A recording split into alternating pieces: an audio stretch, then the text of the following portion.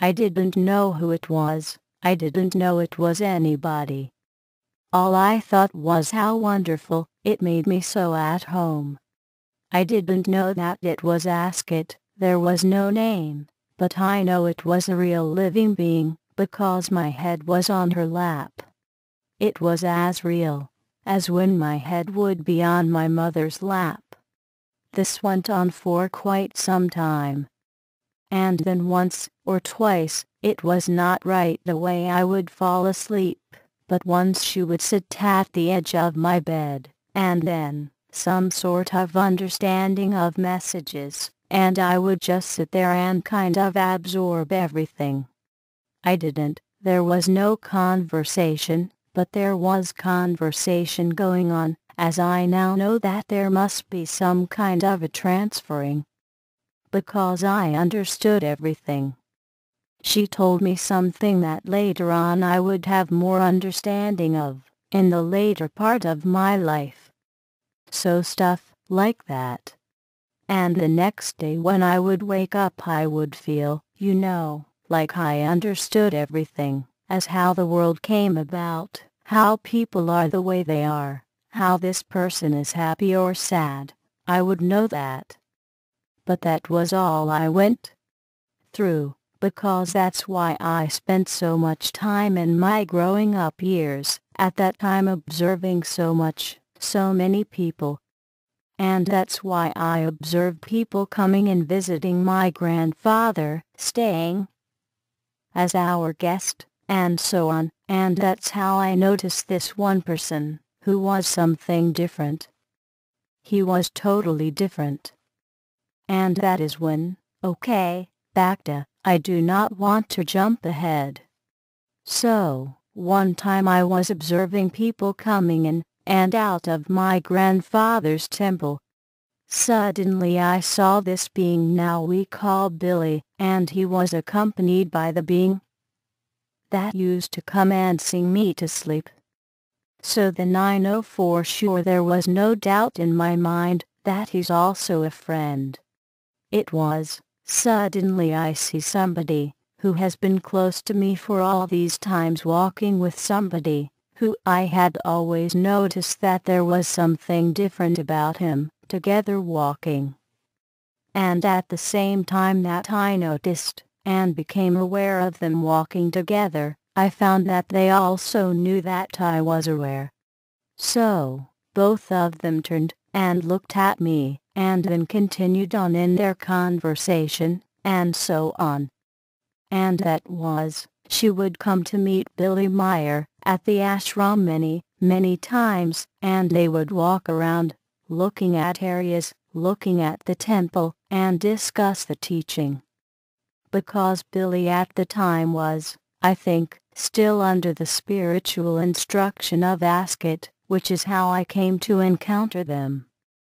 On one of the few contacts, one time, she came to my room, and I kind of, it was not a question, I asked her, my understanding I transferred to her, saying that this being, he's working, and staying with us I find that he's okay, or something like that. I don't exactly recall, but I know that it was like telling her, or something, how I felt about him. And she said, yes, and maybe there will be more contacts later. That will be in your life, there will be some meeting at some point. And that was it. I do not did not keep that in my memory, so to say, and by the same token that she had transferred this understanding to me, I also understood that he then could become my friend, because she had kind of okayed it. I was only nine, or ten. Can we have the second slide? I want to show you how he looked when he came to the temple of my grandfather and studied the Buddhist teachings from my grandfather. At one point he also studied some auto meditation. This is how he was, working in our compound. He had two monkeys. Those two on the left. One he named Emperor Hanuman, and the other one he named Empress Hanuman. The reason I knew this is because my brother, you have seen the little boy, was so fascinated with the monkey, that he would run after Billy, and play with the monkey. And then he asked his name. And that was why I remembered the name, because he told me the name. I remember that, one thing I noticed was that sometime, when he had food, or bananas, he would feed the monkey first. And then if he had something left, he would eat it himself.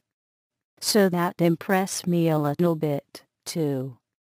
So also, as you noticed, this is the only picture around that we see him, when he still has both arms, before his accident in Turkey, in the middle 60s or later part of the 60s. The being we now know as Asket, how she appeared to me at the time she has nice long, dark hair. She does not look Caucasian nor Asian, almost a blend of the two. I cannot describe to you how, but definitely not a Western or Caucasian look. She does not look Asian, it's almost a blend of the two. She has a very nice golden kind of skin, very luminous and very beautiful to look at. She has long dark hair. That is one thing, because later on when I came to know about Billy's story, I was shown a picture of Asket. It's a being looking very thin, and with long blonde hair.